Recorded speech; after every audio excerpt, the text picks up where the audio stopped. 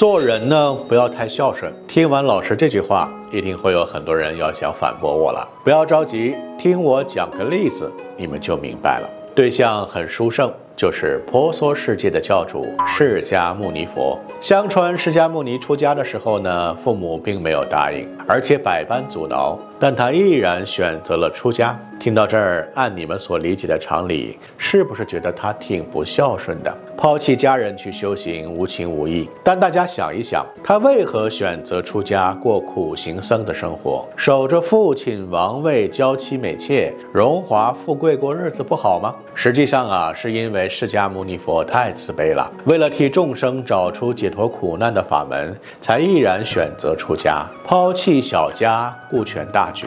而他也并不是不孝，相反是最孝顺父母。虽然他选择出家，但不代表心中没有父。